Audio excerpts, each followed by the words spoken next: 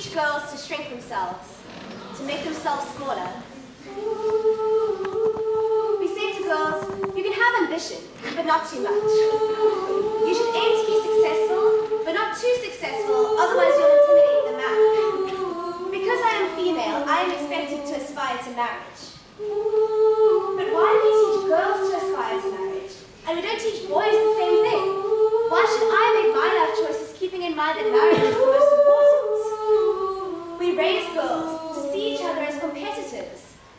jobs are accomplishments or for the attention of men, a feminist, a person who believes in the social, political, and economic equality of the sexes. This is not